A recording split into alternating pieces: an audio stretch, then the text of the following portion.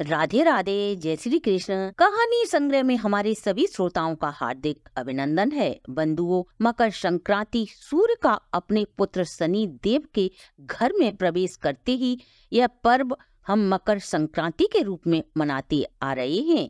इसी दिन भगवान पवन भास्कर दक्षिणायन से उत्तरायण में प्रवेश करते हैं और इसी दिन से देवलोक में देवताओं के दिन का शुभारंभ होता है। श्रीमद् भागवत गीता में मकर संक्रांति को बेहद पवित्र बताया गया है। वैसे तो हिंदू धर्म में सूर्य उपासना का बेहद खास महत्व है और नित्य ही हम सूर्य देव को अर्घ दे उनकी उपासना करते हैं। फिर भी सूर्य उपासना के लिए मकर संक्रांति को बेहद खास बताया गया है। शीत ऋतु के पौष माह में भगवान भुवन भास्कर जैसे ही उत्तरायण में कदम रखते हैं, पूरे देश में यह पर्व हर्ष उल्लास के साथ मनाया जाता है। वैसे तो प्रति वर्ष यह पर्व चौदह जनवरी को मनाया जाता है, लेकिन विद्वानों की गणना के अनुसार कुछ भौगोलिक परिवर्तन के कारण कुछ वर्षों से यह पर्व 15 जनवरी को मनाया जाता है। आइए जाने, मकर संक्रांति पर स्नान दान का इतना खास महत्व क्यों है?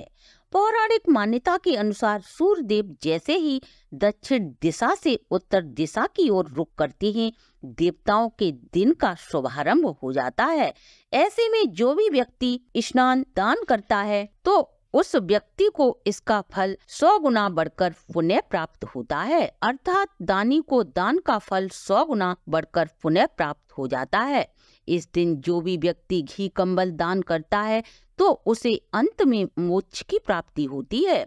मकर संक्रांति के दिन ही स्वर्ग से गंगा जी भागीरथ की कठोर तपस्या से प्रसन्न होकर धरती पर आई और भागीरथ के पीछे पीछे चलकर भगीरथ के साठ हज़ार पूर्वज जो कपिल मुनि के श्राप से भस्म हो गए थे। उनका गंगा के स्पर्श होते ही वे सभी भटकती आत्मा मोक्ष को प्राप्त कर लेती है। श्रीमद भागवत पुराण की इस कथा के अनुसार सूर्य देव का अपने पुत्र शनि देव के काले रंग के कारण वे उन्हें वो स्नेह नहीं दे पाए जो अपने पुत्र यमराज को उन्होंने दिया। इसी कारण शनि देव अपनी माँ के साथ अलग रहने लगे और शनि देव अपने पिता से वैर भाव रखने लगे। उन्होंने कुपित होकर सूर्य देव को कुष्ठ होने का श्राप दे दिया। इधर शनि देव के श्राप से कुपित हो सूर्य देव ने उनके घर कुंभ को जलाकर नष्ट कर दिया। सूर्य देव को कुष्ठ रोग से पीड़ित देख यमराज कठोर तप करते हैं ताकि पिता सूर्य देव कुष्ठ रोग से मुक्ति पा सकें। घर जल जाने के कारण शनिदेव और माता छाया अनेक कष्ट भोग रहे थे।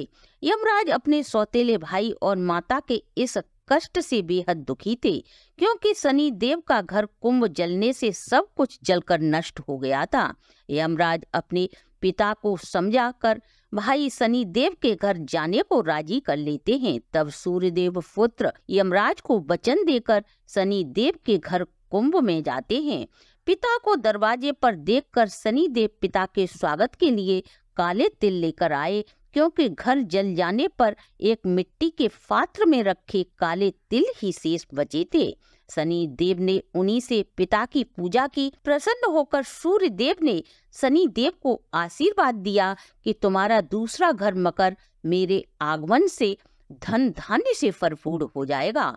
काले तिलों के कारण ही शनि देव को पिता के आशीर्वाद से उन्हें अपना खोया वैभव पुनः प्राप्त हुआ था इसलिए शनि देव को काले तिल अत्यधिक प्रिय हैं।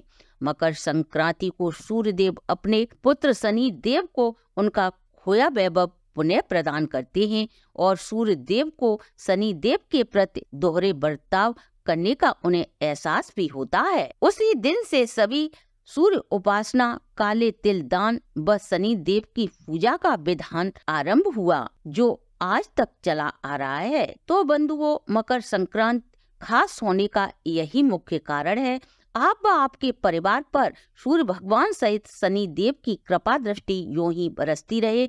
इसी शुभकामना के साथ अगर आपको हमारी प्रस्तुति अच्छी लगी हो तो आप हमारे चैनल को लाइक, सब्सक्राइब और शेयर अवश्य करें।